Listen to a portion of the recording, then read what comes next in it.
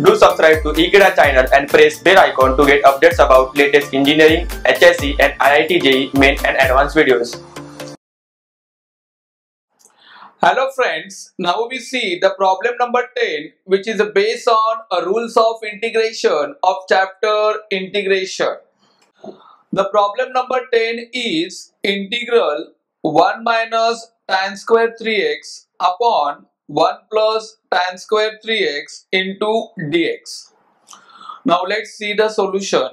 First of all, i is equal to integral 1 minus tan square 3x upon 1 plus tan square 3x dx. Then here we use Trigo formula that 1 minus tan square theta upon 1 plus tan square theta is equal to cos of 2 theta.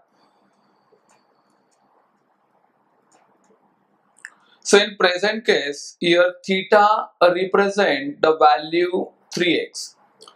So in this formula, we put theta equal to 3x. So the next step will be integral cos of 2 into 3x bracket complete into dx.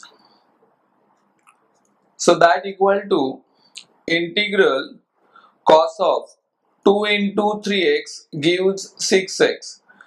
So here we get integral cos of 6x dx.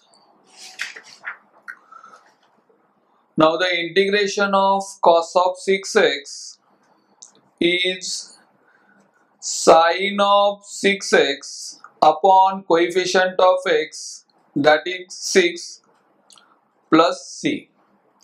So this is a required solution for the given problem. Thank you.